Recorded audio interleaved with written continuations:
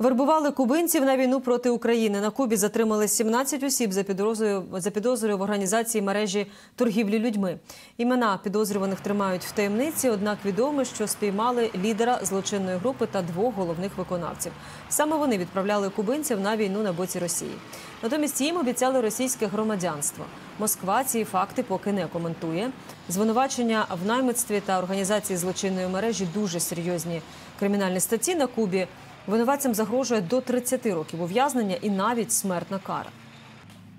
17 personas de la За фактом вербування громадян Куби заарештували 17 осіб. Один з них був головним організатором незаконної діяльності. Він покладався на підтримку ще двох осіб. Усі проживають на Кубі. Саме вони шукали наших громадян, зацікавлених в участі у військовому конфлікті в Україні.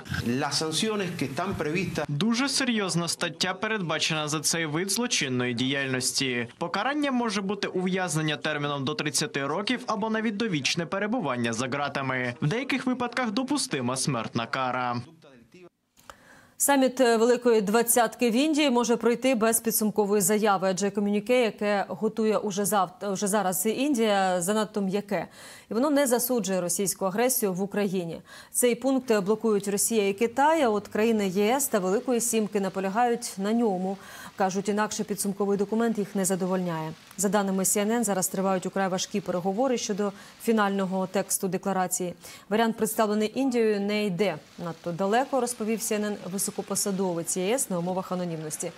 Саміт Великої двадцятки відбудеться в Індії цими вихідними. Туди запрошений кремлівський диктатор. Утім, Путін уже сказав, що не поїде. Українській же владі Індія запрошення не надіслала із приміткою, що це цитую економічний форум, а не форум для геополітичних дискусій. Росіяни нищать його дім у Сирії та Україні. А він воює зі зброєю в руках. Інструктор 14-ї механізованої бригади Сирієць Хасан приїхав до України будувати мирне життя, і це йому вдавалося, допоки окупанти не почали руйнувати все, що він любить. Тепер Хасан у лавах війська захищає свою родину і наближає українську перемогу. Далі більше розповість Назар Войтенков. Дружина у мене українка, звати Лена. Давай ще раз, але разом. У мене дружина Ага, я зрозумів. звати Лена. Його звуть Хасан. Він із Сирії і в Україні живе вже більш як 20 років. У рідному Дамаску навчався у військовій школі, а сюди приїхав 1999-го. Здобув освіту стоматолога, зустрів своє кохання й одружився. Пара має чотирьох дітей, трьох синів і доньку. Влаштував власний бізнес. Я занимался одеждой для военных. В основном м, очень долго, с 2003 год я це займаюся. От, е, коли от 2014 года, ми, слава Богу, как раз была вовремя наша хоть работа. Обнажали ребята, которые шли в 2014 году. И мы сами шли тогда вот э, на войну. Приєднався до створеного у травні 2014 року добровольчого батальйону тероборони Айдар у складі підрозділів АТО обороняв Луганщину.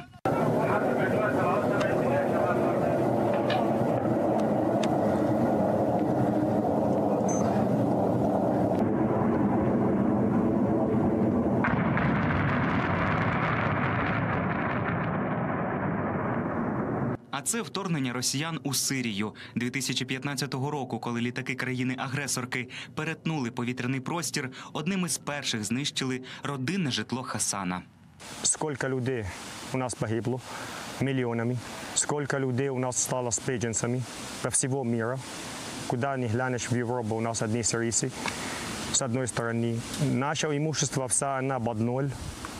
Э, Дотронулись уже до своего дома. Э, Они где есть, там и беда. Чоловік хотів спокійного життя в Україні, але не міг лишитися байдужим і став до війська. Захист своїх дітей для нього пріоритет. Уже у складі 14-ї механізованої бригади воює проти росіян. Стала у пригоді й медична освіта. Проводить інструктажі з такмеду. На Бахмутському напрямку це врятувало багато життів. Ребята, когда приезжают с позициями и кажут, слава Богу, мы разрубили так, как ты сказал. Оно получилось. Для вот це радость, новое життя. Батьки Хасана у Сирії лише рік тому змогли переїхати у нове помешкання. Життя цивільних удома називає мукою, адже російські авіанальоти на міста тривають донині, нищать московити мирне життя й в Україні. Та Хасан не сумнівається, перемога буде. Плани короткі. Перемога, перша черга. Праздновать перемога со всеми моими братьями, которые знаю, но их тысячами уже, слава тебе, Господи. И чтобы все вернулись додому живі, здорові. І ми вернулись все до своїх сімей після перемоги. Назар Войтенков, п'ятий канал. Такою була остання інформація в цій годині. О 13 у нас оновлений випуск часу новин. В цій студії буде працювати мій колега Віталій Ковач. Тож зустрічайте і не перемикайтесь.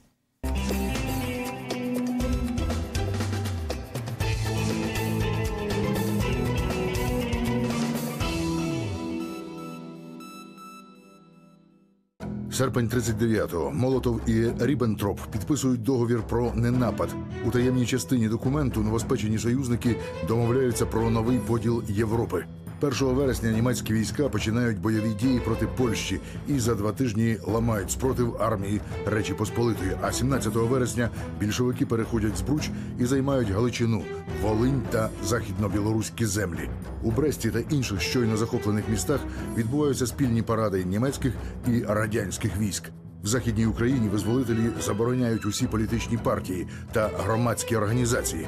Спішно формуються обласні та районні відділи НКВС на базі спецгруп, що прибули разом з армією. Радянська влада стріляє людям в потилицю та множить зразки ідіотичного стилю. Нічні рейди НКВС. Людолови звозять до Золочівського замку нові жертви. Нацисти виставляють на показ трупи закатованих чекістами людей. Приходом перших совітів в західній Україні починається продовольча криза. З офіційного обігу вилучаються польські злоті, що приводить до різкого зубожіння місцевого населення. Націоналізуються промислові підприємства, банки, торгівельні заклади. Припиняється діяльність наукового товариства імені Шевченка. Починається примусова колективізація та депортація польських осадників і лісників. В'язниці наповнюються потенційними ворогами радянської влади. Частину старовинних замків Галичини визволителі теж перетворюють на тюрми. Січень 41-го, Львів. У приміщенні обласного управління НКВС на вулиці Палчинського відбувається великий політичний процес. Перед радянським судом за звинуваченням у причетності до ОУН постало 56 юнаків та дівчат. Більшість з них заявили, що були і лишаються непримиренними ворогами радянської влади. До смертної кари було засуджено 42 особи. Радянська пропаганда тим часом множила зразки ідіотичного стилю. Все яскравіше розгортається ватра революційної боротьби. Прийшов день, коли в її полум'ї згоріли штучні кордони, що відділяли Галичину від радянської України. Як проміння вранішнього сонця розганяють нічну пітьму, так золотий вересень 1939 року засвітив над західноукраїнськими землями сонце волі і правди. Путівник по Івано-Франківську, рік 1939. У травні 41-го починається четверта хвиля депортації, спрямована переважно проти українців. Людей виселяють до віддалених регіонів Росії та північного Казахстану. За мурами старовинних галицьких замків дедалі частіше лунають постріли. В Золочівському замку чекісти працюють круглодобово. В Золочеві від Австрії та Польщі радянська влада отримала у спадок в'язницю. Замок дістав нову назву Львівська тюрма номер 3 НКВС одразу наповнив замок в'язнями. Більшість з них опинилися тут за політичні переконання.